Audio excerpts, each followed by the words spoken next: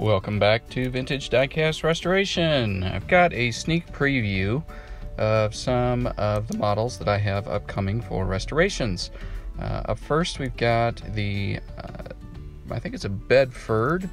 Um, it's the Singer van. It's a, a early model uh, Lesney Matchbox, um, and this one is in really sad shape.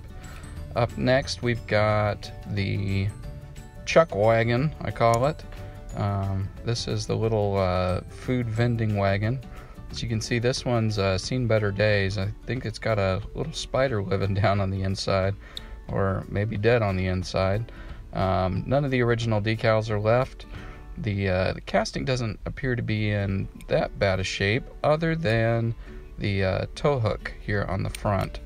Um, the little loop where you would hook it onto one of the cars has been busted off of there. So not sure how we'll go about trying to repair that, um, but that's going to need to be fixed.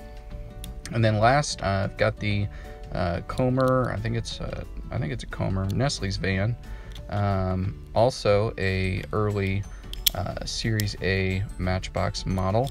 Um, this one you see the base is already pretty loose on it. The decals aren't bad, and this one might be a candidate for what I like to call a sympathetic restoration.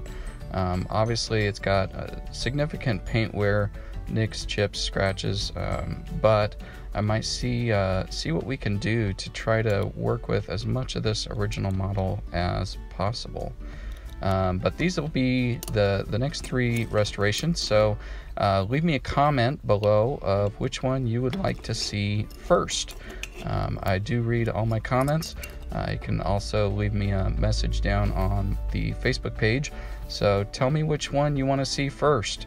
Do you want to see the uh, Singer van, the Chuck Wagon Canteen van or trailer, or the uh, Nestle's Commer van? Um, so let me know your thoughts. Join us next week for another vintage diecast restoration.